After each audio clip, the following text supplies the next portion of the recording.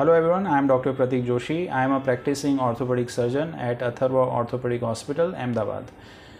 Today is 12th October, which is celebrated as World Arthritis Day. So, on this occasion, I am going to share some knowledge about arthritis, which is a common medical condition characterized by inflammation and destruction of the joint and surrounding soft tissue.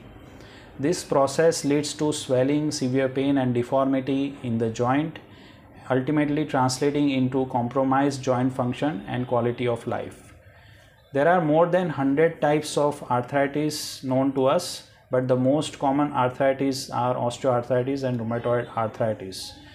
Due to lack of awareness and support, arthritis and its related conditions have crippled the life of most of the people all around the world. So it is important for people to be aware about this medical condition and take medical help in time to prevent its long standing complications.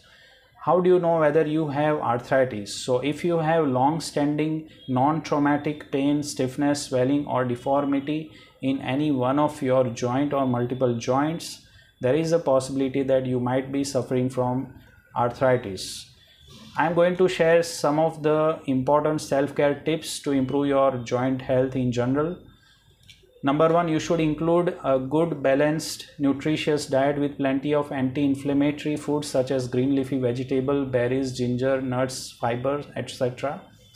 Number two, you should prioritize vitamin D and calcium intake in your food.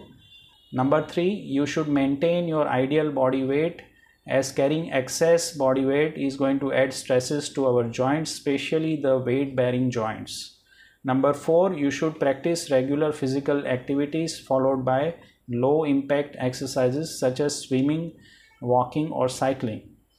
Number five, you should engage in yoga or meditation or similar activities because this is going to relax your muscle as well as stretch your muscles and of course smoking is not going to be helpful to your joints so you should try to reduce or stop smoking.